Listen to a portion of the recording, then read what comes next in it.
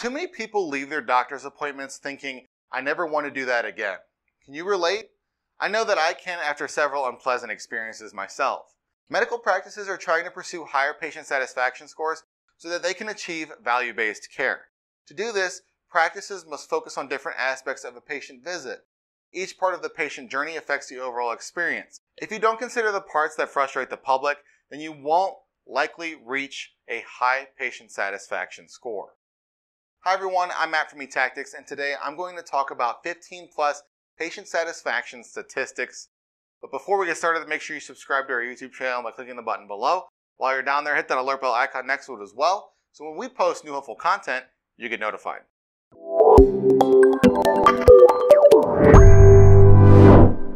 Now, 58% of medical organizations have improved patient access to their practice. More than 3 out of 4 patients reported using a patient portal. Since so many people rely on their providers to offer patient portals, these systems need to come with easy access. Otherwise, patients may choose to switch practices since they value these convenient tools so much. 59% of millennials say that they would switch doctors if it meant better online access. In comparison, only 29% of baby boomers say the same. Scheduling appointments and receiving reminders go hand in hand with accessing patient portals. As I mentioned earlier, these features are becoming more popular for portals and therefore must also be user friendly. 81% of patients reported that they would use a secure website or phone application to fill out medical or registration forms before walking into an appointment to make their appointment more efficient. 68% of patients consider the ability to book, change, or cancel appointments when choosing a medical provider. If patients have difficulty scheduling or canceling their appointments online, they'll end up calling your practice instead. Patients between the ages of 18 and 24 are the most common age group to become frustrated with scheduling an appointment. 84% of people believe that wait time is important when considering the overall experience when visiting a doctor's office. Waiting to see a doctor is often the most frustrating part of a patient's visit to the doctor's office, and not just because it's boring.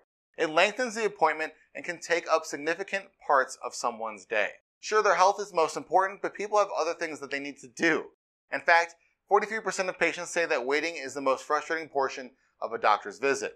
43.3% of patients rarely or never know the length of their appointment.